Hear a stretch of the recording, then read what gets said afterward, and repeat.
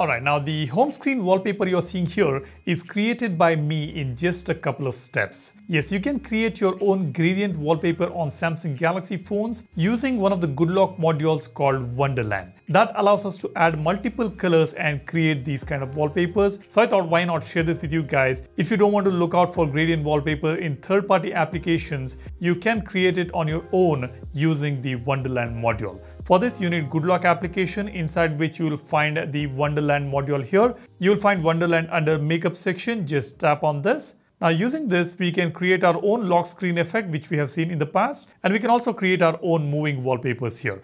Now most of us know this, uh, but creating gradient wallpaper is something which Samsung recently added. Let's go ahead and take a look at this. Let me open this option here.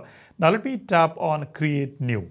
Now here we can add a wallpaper from the gallery or you get to see this option colors. Let me tap on colors. Now this is where we get to select different colors. Let me select maybe a green, tap on done. You see the entire wallpaper is in green color now. Now after selecting one color, we can select the second color option by tapping on this plus button here. Now let me select pink over here. Now after selecting the second color, let's select the third color now. Let me tap on this. This is already selected. I will tap on color. Now uh, let's select yellow. We've got green, yellow and uh, pink colors here. You can move the center color around. You can see it is actually shifting. Uh, you can move this yellow to the top or to the bottom depending on your requirement. You can just move it around. And once you're done with that, you can actually change the direction of these gradients. We've got four options here, left to right, top to bottom, diagonal up towards the right and diagonal down here. And look at this, we also have this option here. There is a red indicator over here.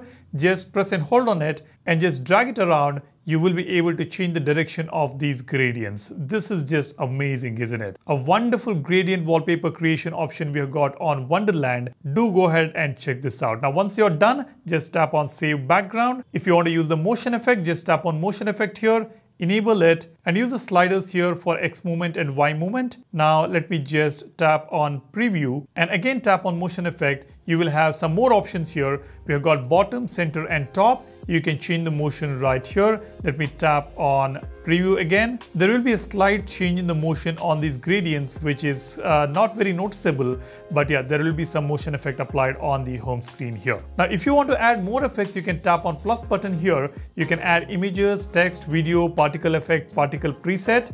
Uh, let me tap on uh, particle effect here if you want to add any of these particles, you can just add it. And then you can select the movement here. I will select fly snowflakes, autoplay or touch effect you can select. I'll tap on autoplay.